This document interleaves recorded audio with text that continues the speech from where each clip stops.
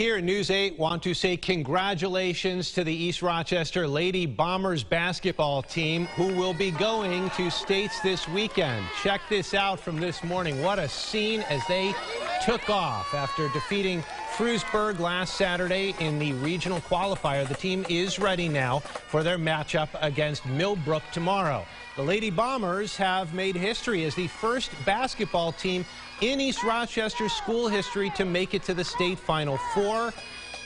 What a crowd. Gotta love ER. Good luck to them.